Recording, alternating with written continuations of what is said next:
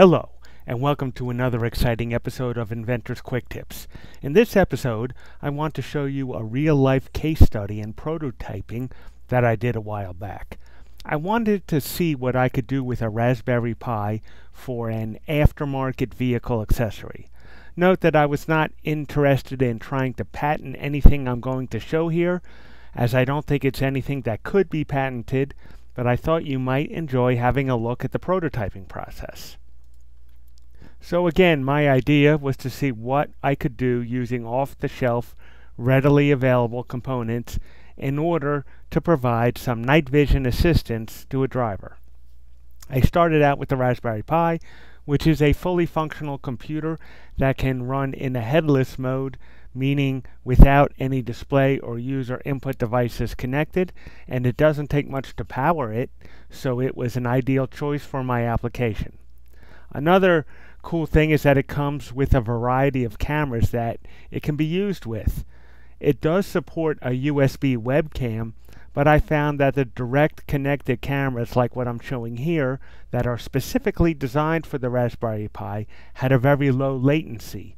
And for a driving application, low latency is important, meaning to say, I need the video display to be near real time. If the video is two seconds delayed from real life, that is not going to make for a very good user experience in this type of application. So in its simplest form, we have the car, and inside the car, we mount a camera and also attach a heads-up display to see the enhanced video images without needing to avert our eyes from looking forward. Here's a basic theory of operation. We use the Raspberry Pi with the accessory camera, tweak the image settings such as brightness and contrast and saturation in order to really bring out the lines on the road. Then put the enhanced video images on the heads-up display. Now this is not a new thing.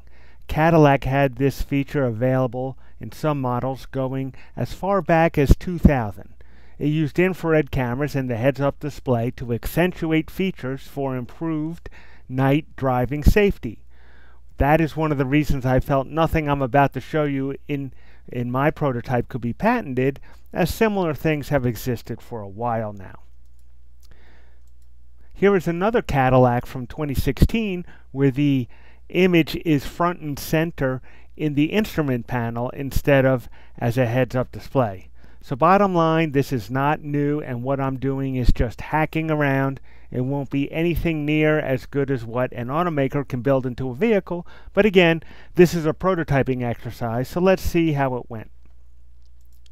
The first thing I did was build a model of a road on my workbench, and then I set up the system to test the display. I made a translucent data screen and I found that useful so I could see what settings I was adjusting and also see the image as well.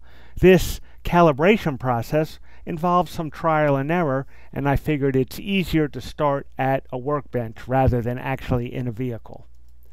The next thing to do was test the heads-up display and for that I used this mirror. I then had to configure the Raspberry Pi to flip the image on the monitor so it would look correct in the mirror. Next, it was time to install it in the first vehicle.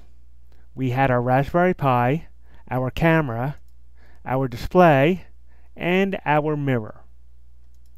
Here is an image of a nighttime test.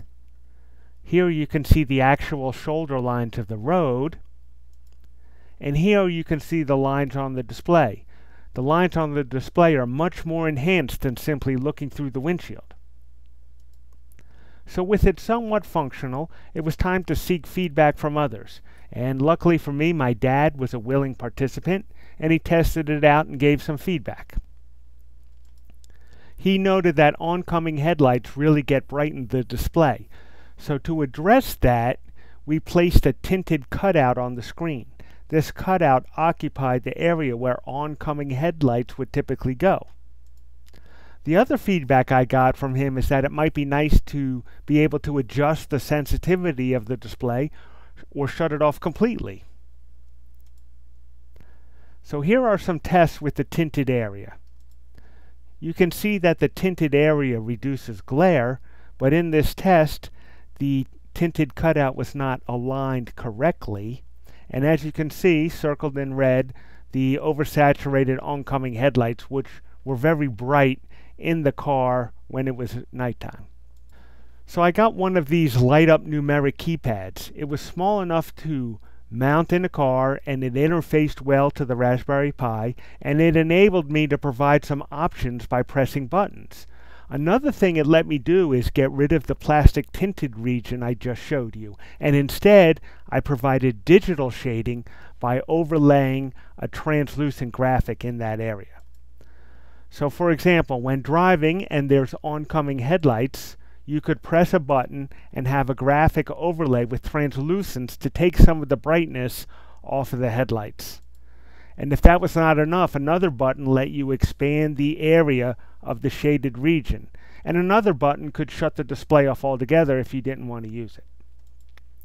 So let's take a look at the first road test. I have my heads-up display and uh, we are accentuating the white lines of the highway using a night vision camera and a heads-up display, Raspberry Pi with a micro HDMI display, and uh, we're mobile with it. That's right, we got a Raspberry Pi in the car, and you can see the white lines on the heads-up display nice and clear. And there you have it. So it did work, and then it was time to install it in a second vehicle and apply what I learned from doing things in the first vehicle. So I did uh, the install in the second on a different car where I tried to make things a little bit neater. I've got the display mounted on top of the dashboard. Heads up screen installed on the windshield. Got the camera installed and I made a black enclosure for it so it doesn't stand out so much. Installed the keyboard for control. And here's how it looked on the inside. And here's a quick road test with the second vehicle. Right here, right?